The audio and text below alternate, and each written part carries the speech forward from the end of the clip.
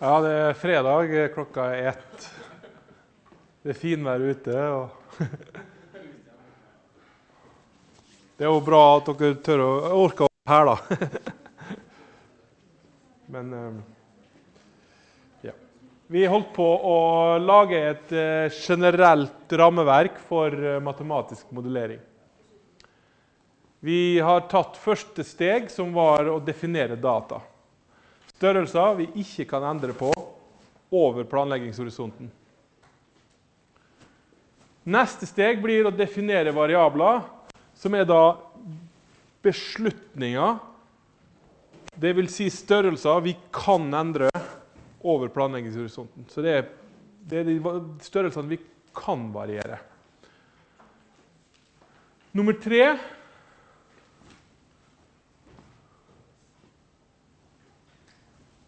kaller vi gjerne for føringer.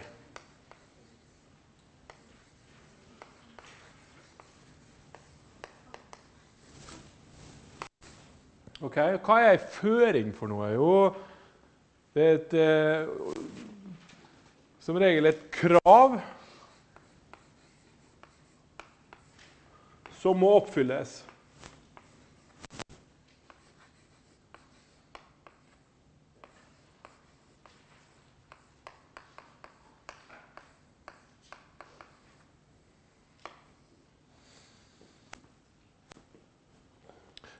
Det der er et sånt uh, nasty beast. Punktet er ofte det et, et vanskelig uh,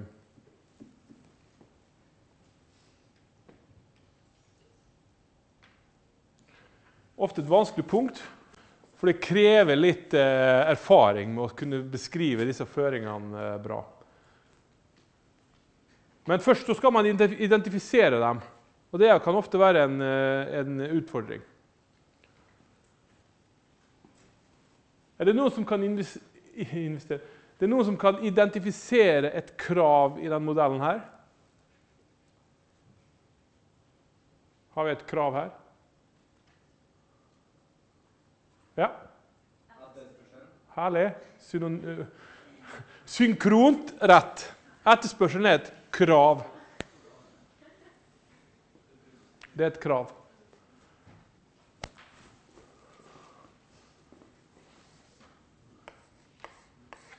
Og Det er egentlig det eneste kravet vi har her. Som vi klarer å se. da, Det fins faktisk et til, men det skal vi komme inn på. Så krav er, Føringa er et punkt hvor man må virkelig tenke litt gjennom.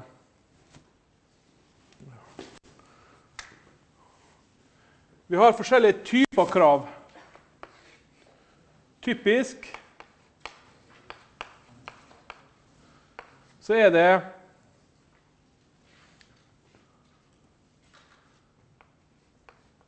Enten kapasitetskrav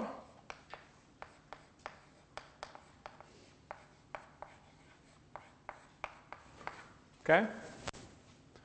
Eller så kan det også være noe vi kaller for policy. Da. Det er jo at vi skal at det, det, faktum at vi skal oppfylle etterspørselen, det er et policy som vi har fått pålagt på oss. Det er en beslutning som noen andre over oss har tatt for oss. policy. Andre typer policy-krav er f.eks. et budsjettkrav. Du får lov å bruke en del, men opp til en grense, nemlig budsjettet ditt. Det kan være et policy-krav.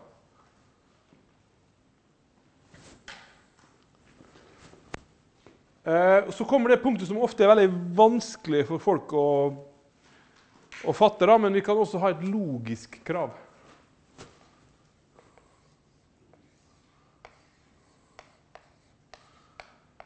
Og den er, den, er, den er, ofte en nøtt for de fleste. Og det er Logisk krav det er f.eks. sånn at hvis bla, bla, bla, bla, bla, så bla, bla, bla, bla. bla. Det er, sant? Hvis noe er sant, så skal det, det neste være sant. Det er et logisk krav. Har vi et logisk krav i det caset vårt her? Er det noen som klarer å se et logisk krav? Litt vanskelig, men det er faktisk et logisk krav her. Hvis jeg ikke bygger et varehus her, så kan jeg heller ikke levere noe kvantum herifra. Enig? For vi har ikke bygd noe der. Er dere enige? For vi har to størrelser, vi har to variabler. ikke sant? Vi har, vi har om vi bygger eller ikke, og så har vi kvantum dersom vi bygger. Hvor mye skal leveres. Så det Kravet her blir at hvis vi ikke bygger, så kan vi heller ikke levere noe. Så vi har faktisk et, eh, et logisk krav i det caset her. Og Det betyr med andre ord at de to variablene de henger sammen. De henger sammen logisk.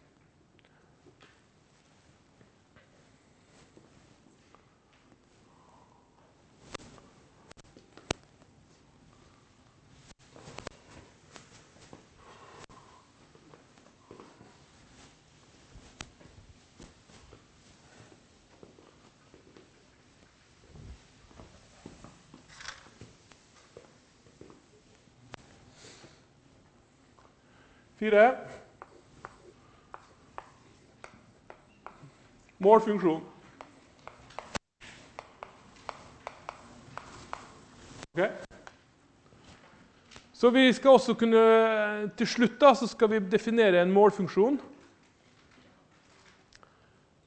som beskriver selvfølgelig det vi prøver å oppnå.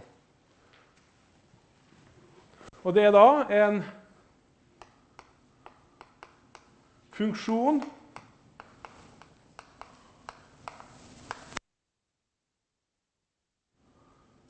av data og variabler. Så nå har vi, jo, vi har jo allerede først definert data og variabler. Og dette her er en funksjon av de dataene og variablene. Variabler.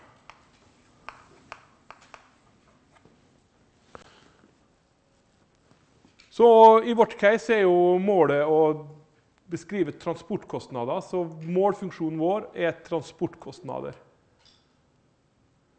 Og Vi skal da beskrive den transportkostnaden ved hjelp av dataene våre og variablene våre. Okay. Så Dette var en helt generell eh, oppsett av eh, av og til så Om hvorvidt man tar målfunksjonen før føringene, det er egentlig hipp som happ. Det som er viktig, er at datavariabler må defineres først. Så kan man enten definere målfunksjonen eller føringene i den rekkefølgen man ønsker.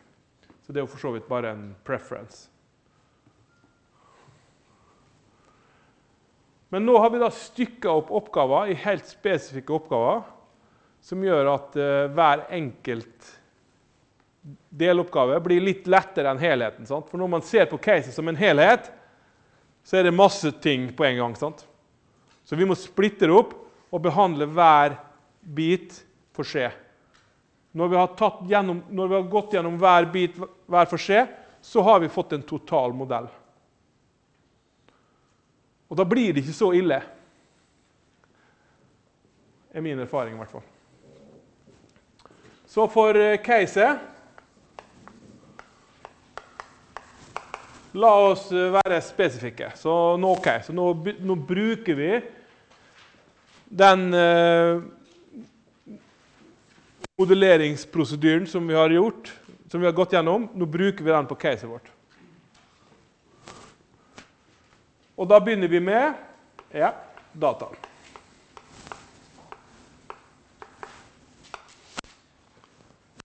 Vel, når vi driver matematikk, så opererer vi med symboler. Vi opererer ikke med tall. Det er det siste vi gjør. Så som dere husker ikke, dere hadde matematikk med han eh, Per Kristian, så var det X, Y osv. A, og Ikke sant? Tallene blir bare en eh, siste linje man oppgjør. Litt det samme som vi har holdt på med i prognosisering. Teta. X hatt X. Ikke sant? Symbolikk. Så vi må definere dataene våre symbolsk. Så Vi må gi dem et symbol for hver, hver datastørrelse, og så må vi beskrive hva den er for noe. Så La oss starte med etterspørselen. D1 er lik Hva er D1? Jo, det kan være etterspørselen i Møre og Romsdal. Så du skriver 80. Komma. Etterspørsel.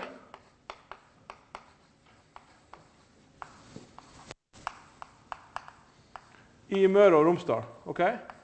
Og det er veldig viktig å skrive betydninga av størrelsen vår. Men nå har, vi gitt et, nå har vi gitt et symbol for den, slik at hver gang vi skal skrive den kostnaden, så skriver vi heller bare D1. Eller vi kunne skrevet DM og R, men vi skriver D1. Den har en hensikt. For når vi utvider caset, så er det etterspørsel 1 for region 1, etterspørsel 2 for region 2, etterspørsel 3 osv. Da er det lett å nummerere opp. Så det er vanlig å bruke tall her. Så har vi eh, investeringskost.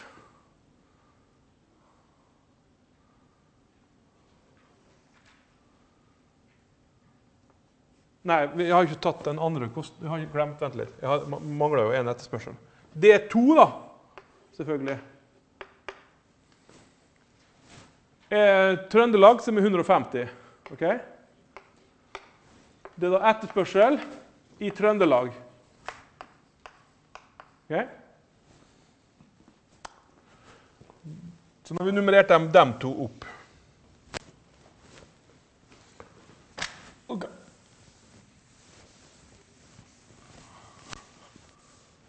Sånn.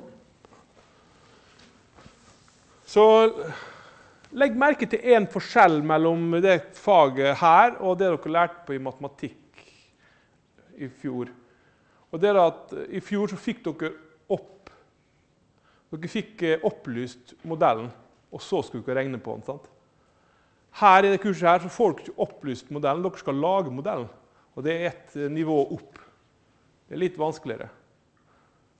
For det er deres jobb nå å lage modellen. Å løse modellen blir et helt annet spørsmål. Så vi går over til uh, kostnadene.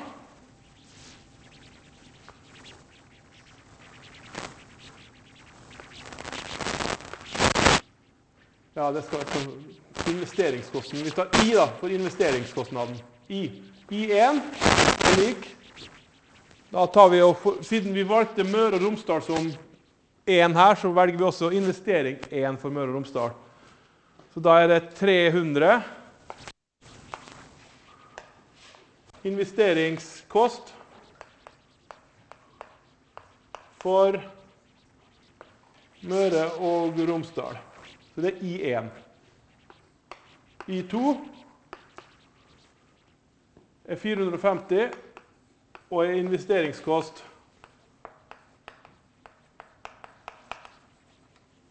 for Trøndelag.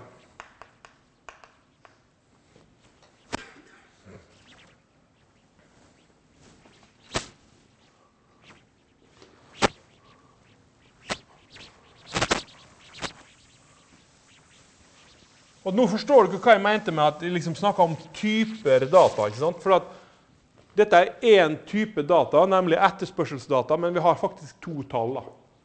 Her har vi én type data, nemlig investering. Så kan du kalle det for investeringskost.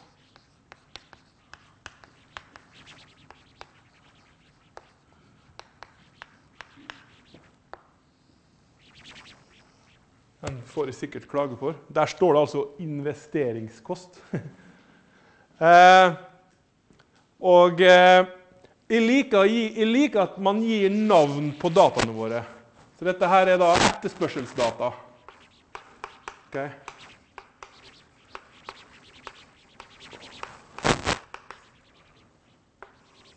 Og Årsaken de liker at man gir navn på det, da får man et forhold til datastørrelsen. sant? For det, eh, dette her er en eh, for å si det mildt, dette er en knøttliten modell. Så når modellen begynner å vokse nå, og det blir flere og flere data for dere å håndtere, så er det å faktisk få et lite forhold til den datastørrelsen er viktig. Så gi dem alltid et navn. Da kan også, da, da kan også henvise ved hjelp av navnet. Til Investeringskost, etterspørsel. Den siste kosten den her, det er transportkost. sant?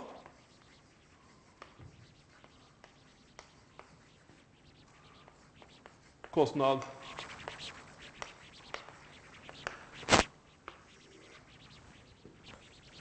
Ok, men her har vi et eh et, et sånt lite notasjonsproblem.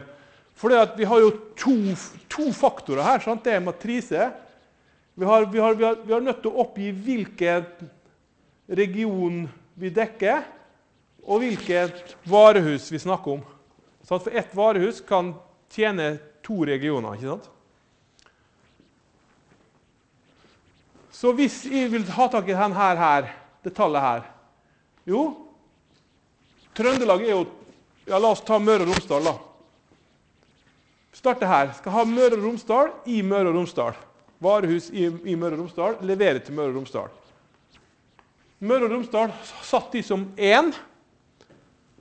Og investeringskosten var også én for å representere Møre og Romsdal, så da skriver vi C1 1. Sant? For, å, for å trekke ut den kosten der. Det er lik 9. Transportkost fra varehus i Møre og Romsdal til region Møre og Romsdal. Okay. Transportkostnaden fra varehus Møre og Romsdal til region Møre og Romsdal. Make sense?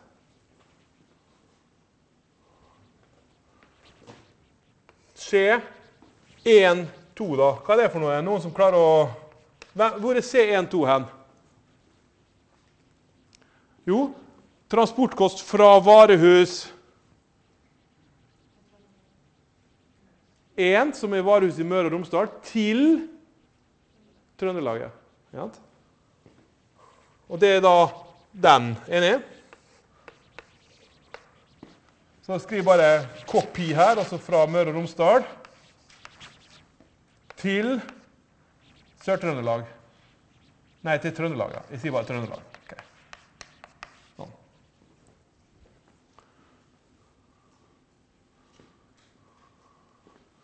Og denne fortsetter her.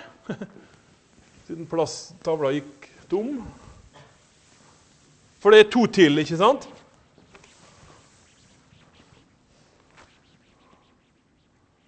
C 2, 1 er da lik Hvilken er det? 2, 1. 2 er Trøndelag. Varehus 2 til region 1. Møre og Romsdal.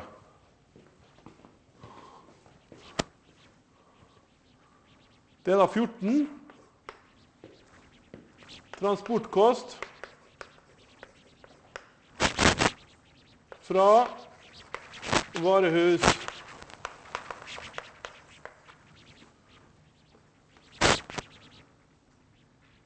i Trøndelag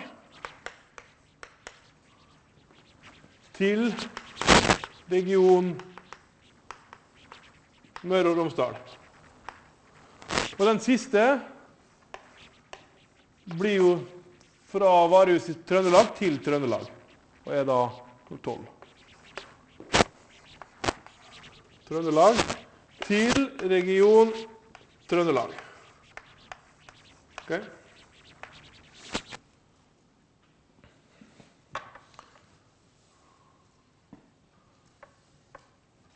Så vi har altså tre typer data. Vi har etterspørsel, som vi beskriver ved D.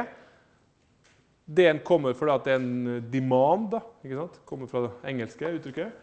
I står i det tilfellet her for investment. Og beskriver kostnaden for å investere. Rett og slett å bygge varehuset. Og C representerer transportkostnaden og er da indeksert ved hjelp av hvilket varehus vi snakker til, og til hvilken region vi ønsker å levere til. Vi kaller det å indeksere. Denne, disse, to, uh, disse to små tallene her er to indekser. Den første indeksen representerer varehuset. Den andre indeksen representerer regionen vi skal levere til. Okay. Det var data. Mange føler at akkurat det å liksom skrive ned dataene er bare å, må bare kopiere det som står i eh, det som står i, eh, i oppgaven. Men det er veldig viktig, for man får et forhold til eh, modellen og hvordan den er bygd opp.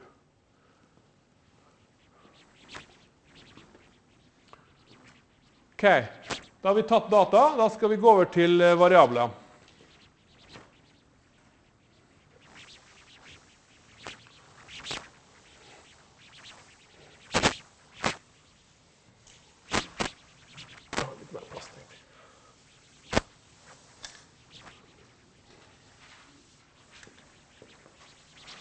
Så vi husker at vi identifiserte to typer variabler. Eh, så la oss kalle den eh, først bygge ja, variabler. Så vi har kommet til steg to i modelleringa vår. Første type variabel gi den gjerne et navn. Bygge eller ikke bygge. Ok, Enig? Det er en beslutning. La oss kalle den variabelen for y. Og 1 representerer jo da Møre og Romsdal, så vi sier da y1 er lik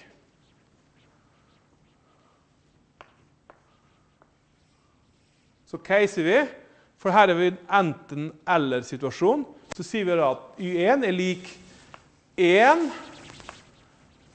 dersom vi bygger Det skal være en Y. Bygger varehus i Møre og Romsdal. Og null hvis ikke. Har dere har de nå fanga opp en beslutning nå? Yes or no skal vi bygge. Enig? Én ja, vi bygger. Null nei. Enig? Make sense? Dette kalles en binærvariabel. En enten-eller-variabel og representerer en ja- eller nei-beslutning. Så nå har, vi, nå har vi med andre ord funnet en beslutning og definert hvordan han ser ut matematisk. Så den beslutninga har enten verdien 0 eller 1. Veldig enkelt. sant? Men vi har overført det til en matematisk form. Det er ikke true eller false. sant? Det er 0 eller 1. For 0 og 1 det kan vi regne med. sant? 0 pluss 1 er 1, og 1 pluss 1 er 2. Ja? Det kan vi ikke gjøre med false og true eller, eller sant? beskrive beslutninger med ord. Vi kan ikke regne på det. Men denne kan vi regne på. Y1, for vi vet den enten er 0 eller så er den 1. Samme da.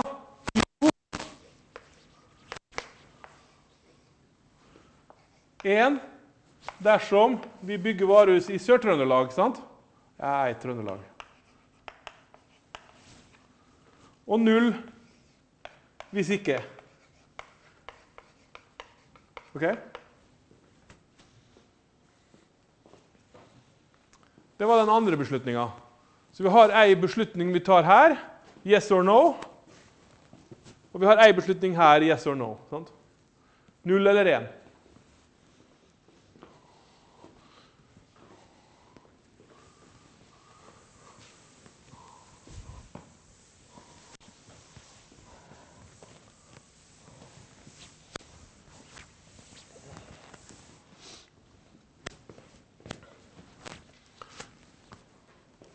Bygge, ikke bygge variabelen. Så har vi Så har vi kvantum levert.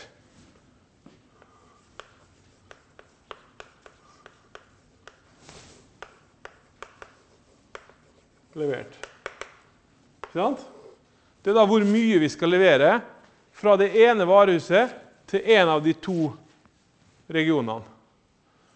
Så vi begynner, og denne gir vi variabelnavnet x. x1 er lik nei, x1 kolon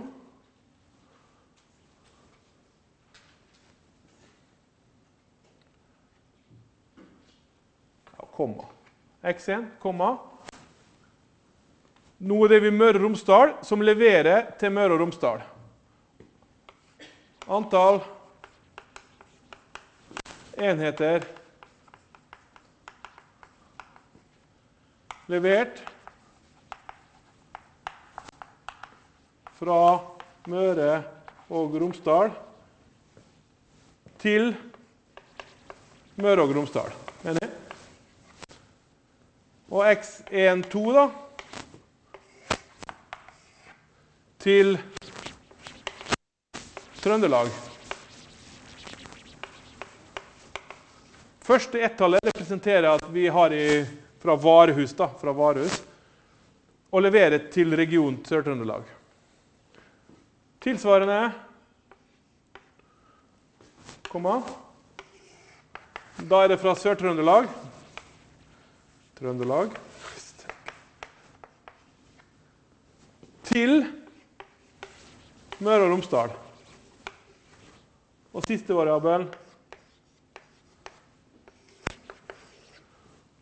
fra Trøndelag til Trøndelag.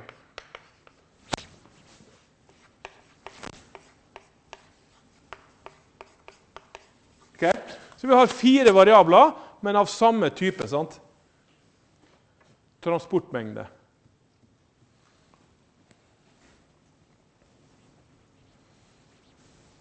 All right. Kan eh, den størrelsen være negativ? Kan vi levere minus eh, ti varer? Eller ti enheter med brus? Det doesn't make sense. sant? Så vi må ha en restriksjon på at eh, de er større enn eller lik null. Da. Null kan de være, men ikke negativ. Det gir ikke mening, så vi må si at den er større enn eller lik null. Ok, Enig? Variabelen er nødt til å være positiv eller null. Det er et krav. Ok. Nå eh, skal vi gå over til å se på eh,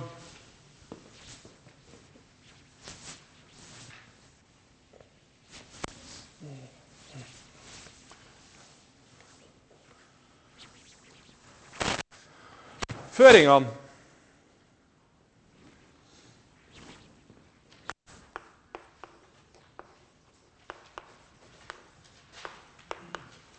Steg tre. Så Legg merke til at vi følger den rutinen ganske ganske disiplinert. Da blir det lettere å løse oppgaver. sant?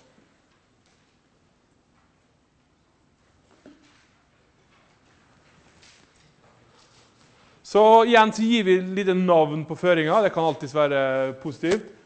Eh, et, opp, oppfylt etterspørsel. Det husker vi vi Etterspørsel.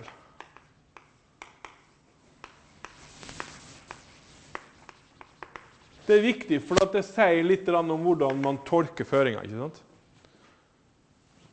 Ja, vi har eh, to etterspørsler. Vi har den i Møre og Romsdal og så har vi den i Sør-Trøndelag.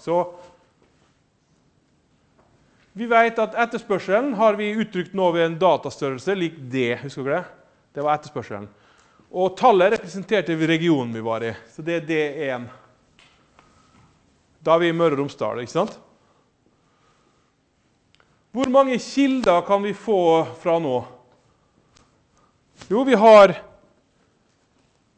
Vi har hvor, Hvilke variabler er det her som leverer til Møre og Romsdal? Leverer den her til Møre og Romsdal?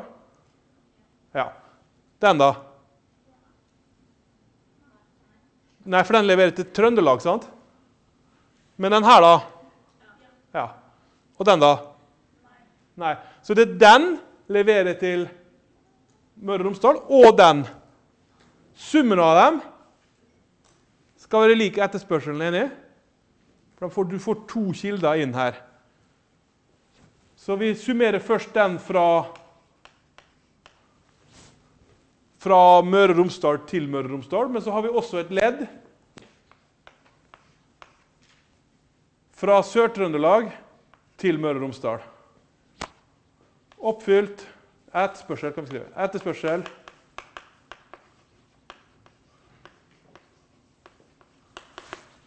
til Møre og Romsdal. Ikke sant? Enig? Den ene kan jo være null, men da er den andre hele etterspørselen. Sant? For vi er nødt til å ha, til å ha likhet her. Så hvis vi setter den variabelen null nå, så må den der være D1. sant? Men vi kunne jo også tatt halvparten kan ha hatt den D-halve og den halvparten D-halve. Da har vi delt. sant? Halvparten får vi fra Møre og Romsdal, og halvparten får vi fra Sør-Trøndelag. Spørsmålet er om det er kostnadseffektivt for oss. da. Men det får vi finne ut etterpå. Dette er i hvert fall formelen for oppfylle etterspørselen. sant? På, dette er et krav på variablene våre. De to variablene henger sammen i den forstand at de skal oppfylle etterspørsel. D2 blir jo da omvendt. sant? Da er det den variabelen og den variabelen som leverer.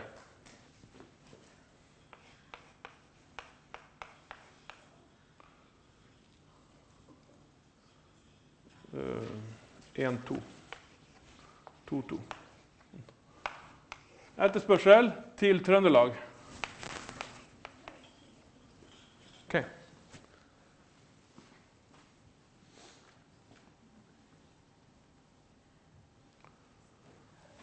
Right. Er vi da ferdig med føringene?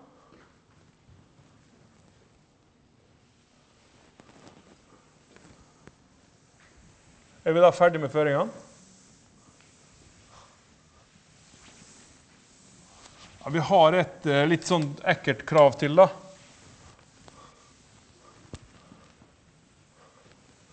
I form av en logisk i form av et logisk krav.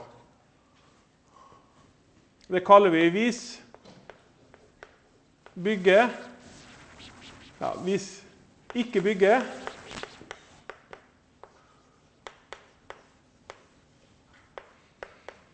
Pil ingen transport heller.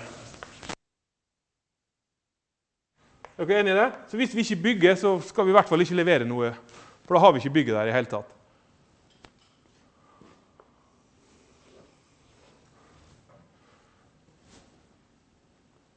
La oss se på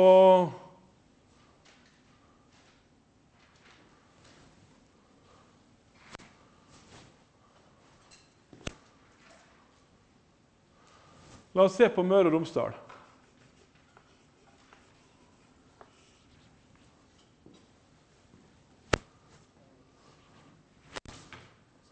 Så hvis Og vi kalte den bygge- eller ikke-bygge-variabelen for y. Så hvis vi ser på Møre og Romsdal, så snakker vi om y1, sant? for 1 representerer Møre og Romsdal. Så hvis y1 er Hvis vi ikke bygger, hva slags eh, verdi har y da? Null, ja. Herlig. Så hvis y1 er lik null, så må Hva da? X Hvilken Hvor stor skal X11 være da? For denne her sier hvor mye vi skal transportere fra varehus i Møre og Romsdal. Men vi har allerede bestemt at det varehuset skal ikke bygges. Da må vi sørge for at den der aldri blir noe annet enn null. Ja, enig? Det er den logiske sammenhengen mellom de to her. De er kobla så må x11 være lik 0 og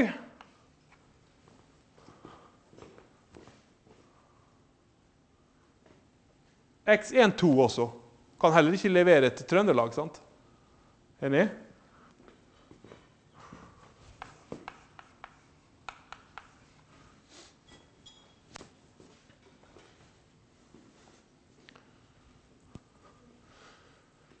Men vi skal Dette her er, Nå står føringa på en såkalt logisk form. Den er beskrevet logisk. Eh, men vi ønsker å ha den eh, føringa slik at vi kan eh, bruke henne i beregninga. I et ligningssystem. Slik at vi kan prøve å løse ligningene. For det er det vi skal gjøre nå. Vi skal prøve å løse, skal prøve å finne variabler for, verdier for x-ene og for y-ene, slik at vi får minst mulig transportkostnader. Og da kan vi ikke ha en føring på den formen der. Så vi må omskrive.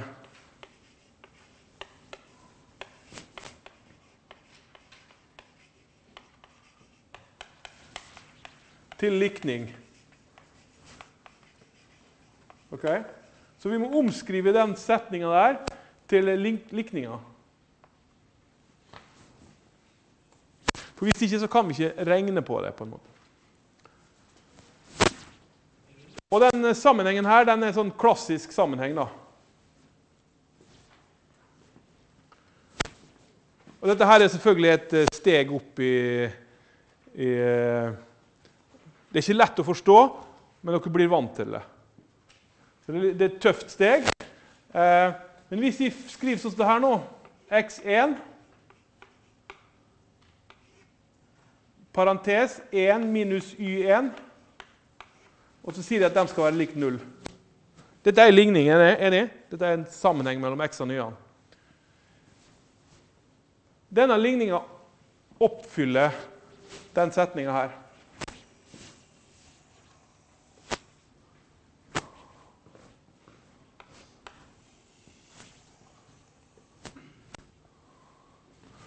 Så Hvis de skriver, så kaller de den for eh, stjerne,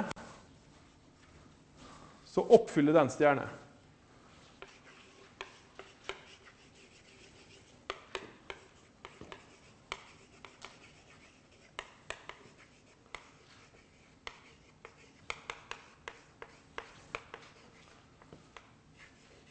Så jeg har med andre ord tatt ei setning og beskrevet setninga ved hjelp av ligninger. La oss sjekke at det er rett. Så vi må bare teste at det, dette her er riktig. Så så, så test. Så hvis de setter y1 lik 0 i den ligninga der nå, så skal x11 være, bli lik 0. Enig? Det er testen. sant? Så, så skriver vi hvis y1 er lik 0, altså ingen Ikke noe varehus her. Så OK? Og da setter vi inn den ligninga der. Så x11 1 minus y1, men hva er y1? Det er null, sant? 1 minus 0 er 1. Så dette blir da lik x11, ikke sant? Og det skal være lik 0. Så da får vi da at det blir lik 0. Ergo hvis den er 0, så blir x11 0. Hang dere med på det, eller? Var det tøft på en fredag ettermiddag?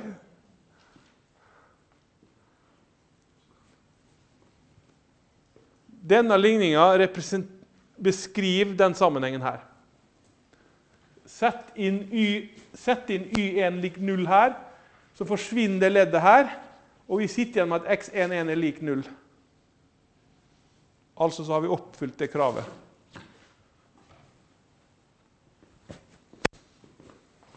Altså er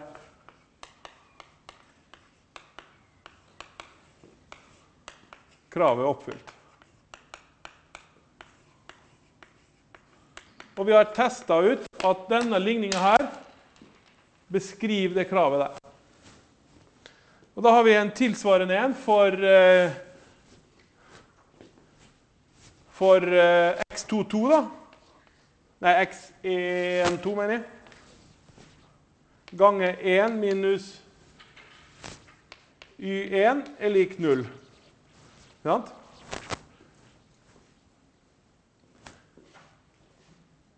På samme måten så får vi også for Trøndelag Så for eh, For Trøndelag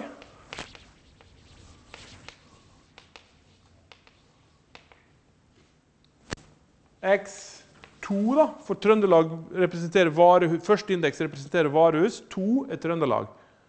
Så varehus i, var, mengde transportert fra Trøndelag må være null hvis vi bestemmer oss å ikke å ikke bygge varehus i Trøndelag. Og X22 1 minus Y2 er lik 0. Så der får vi altså fire logiske føringer. Den og den, den og den. Og det er sammenhengen mellom det å faktisk bygge varehuset og det å kunne levere og transportere fra, fra varehuset.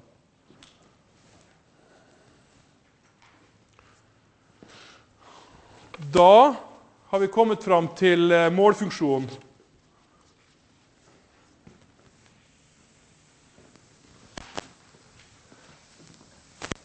Hvis det virker gresk for dere nå, så kan jeg trøste dere med at eh, det kommer til å synke inn, altså. Don't worry. Det kommer til å synke inn.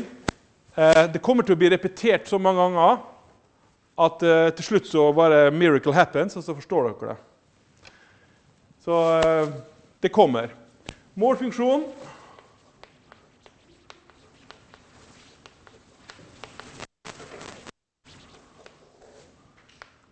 Ja, det er totale transportkostnader.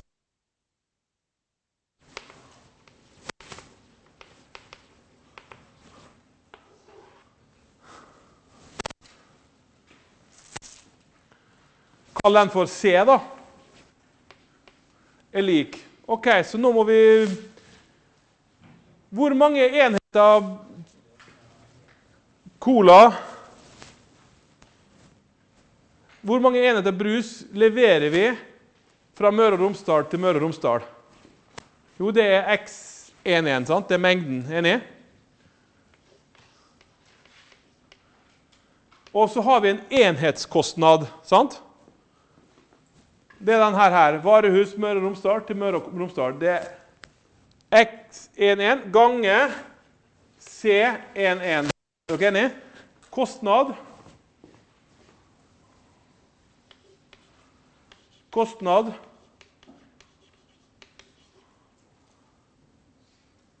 Møre og Romsdal til Møre og Romsdal. Og dette er antall, enhet, dette er antall enheter.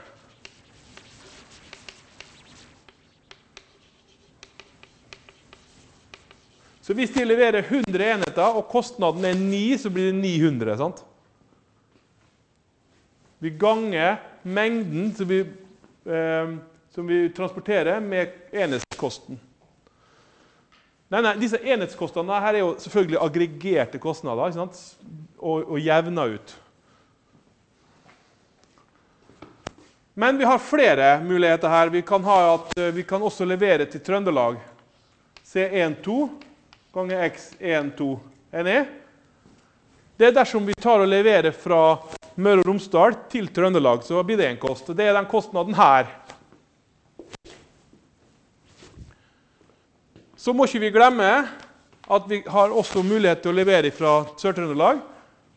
C21 ganger X21, som er fra Sør-Trøndelag til Møre og Romsdal, pluss fra Sør-Trøndelag til Sør-Trøndelag. Enig?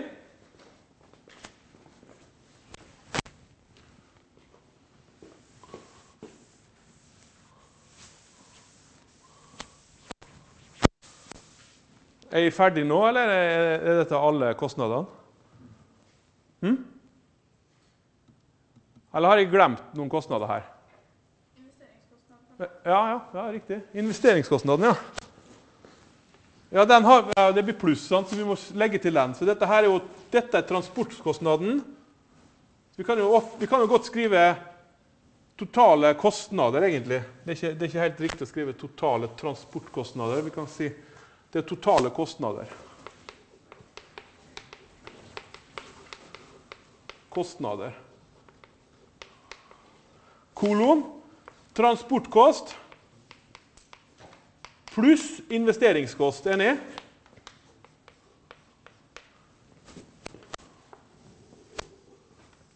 Sånn.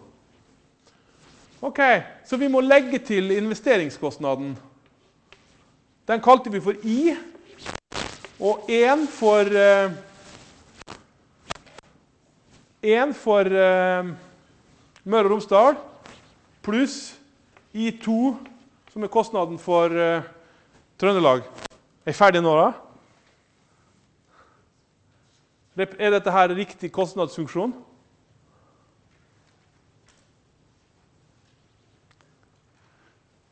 Så hvis jeg nå bestemmer meg for at jeg ikke bygger i Møre og Romsdal Så jeg bare bygger i Sør-Trøndelag Er da kostnadsfunksjonen her rett?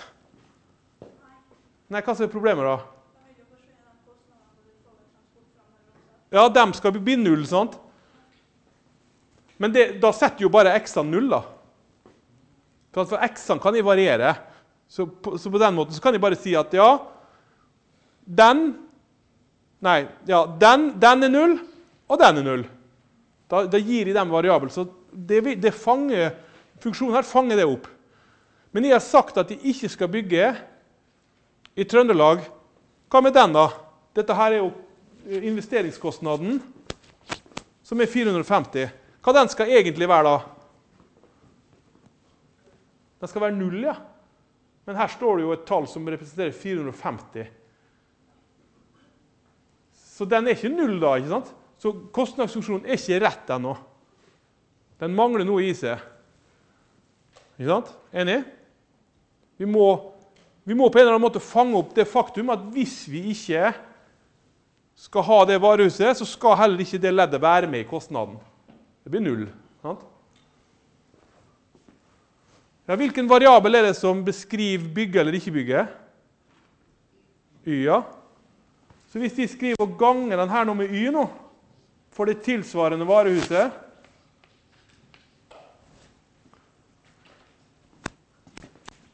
Det var derfor jeg lagde litt mellomrom. Så vet vi at hvis y er 1 nå, så får vi kostnaden. Og hvis y er 0, så får vi ikke kostnad, for da blir det kostnad ganger 0 som blir 0. sant?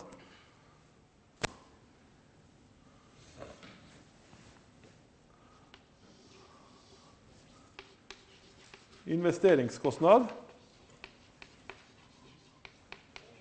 Som funksjon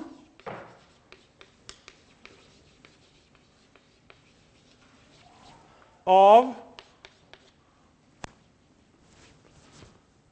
Bygge, ikke bygge.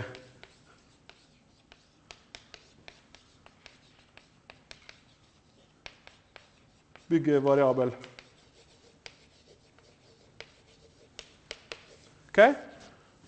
Da har vi beskrevet kostnadsfunksjonen ved hjelp av beslutningsvariablene våre. Og Det er først da vi kan begynne å vurdere beslutningene våre. For hver enkelt kan du si, beslutningssett vi har tatt, så får vi en ny kostnad. Så hvis vi, kaster, hvis vi begynner å legge inn verdier her nå Det betyr da tar vi en beslutning. Så får vi en kostnad. Ikke sant? Ok, Da kan vi begynne å leke med verdier, og så ser vi til slutt hva den rette kostnaden blir. sant? Hvis jeg setter nå den lik null, ikke sant? så vet jeg at den også blir null, og den også blir null med en gang. Det vet vi fra det kravet vi snakka om. sant? Det kravet her. Så I neste time så skal vi regne på dette her, og så skal vi finne den beste beslutninga. Okay? Det settet av beslutninger som er best. Da har dere noe å grunne på at det er helga. Og så fortsetter vi med dette på mandag.